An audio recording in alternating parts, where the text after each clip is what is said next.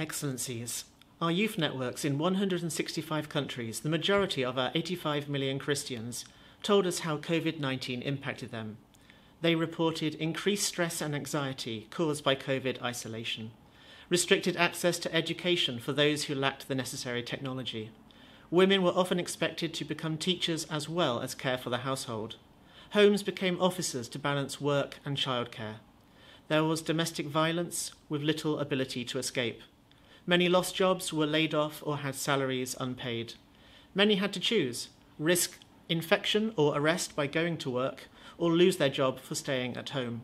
Some were denied government aid because technically they were employed, despite not receiving salaries.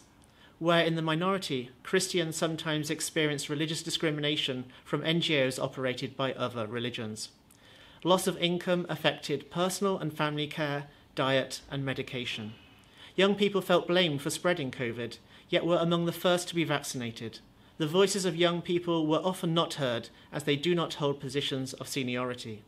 We thus suggest states work alongside and with faith actors.